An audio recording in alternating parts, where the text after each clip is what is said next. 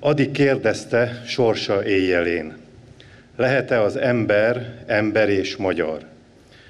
Feleltek ti, bátor szent fiúk, lássuk, a világ most vélünk mit akar. Vagyunk egy szállig elszánt emberek, kiket to- tiporni tovább nem lehet. Ha kell, még én is veletek halok, ha engedtek ti, szent fiatalok.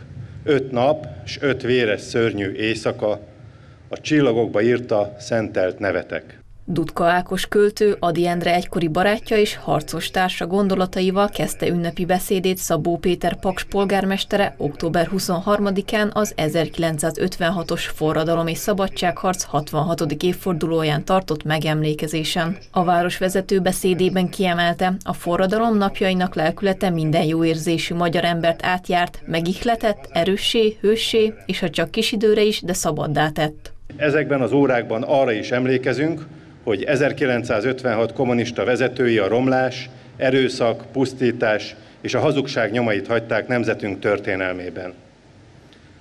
De ma inkább emlékezzünk a bátor és szent fiúkra, a paksi hősökre, Kolonics János, Cucor Antal, Tuba János bátor, önfeláldozó tetteire.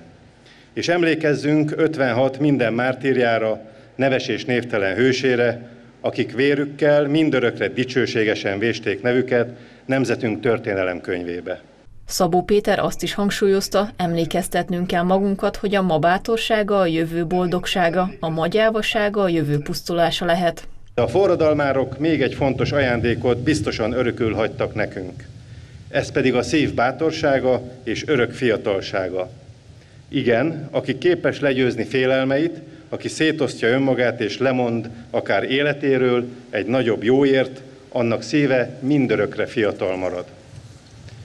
És ez a lelkület átragad azokra is, akik tisztán és őszinte nyitottsággal tekintenek a forradalom hőseire. A megemlékezésen közreműködtek a Paksi Vabbottyán gimnázium tanulói, Bereményi Géza Korvin Köziek című versét Jantner Enikő és Otterbein Petra szavalta el.